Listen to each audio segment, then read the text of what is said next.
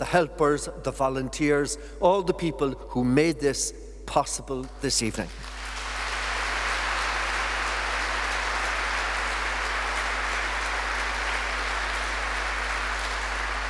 And I'm asked to ask you if you will join us, please, for a little refreshment in the college dining hall. That's the Pugin Hall, round the corridor, past the front door, up, and it's on your left. You'll certainly find it. There'll be loads of us there.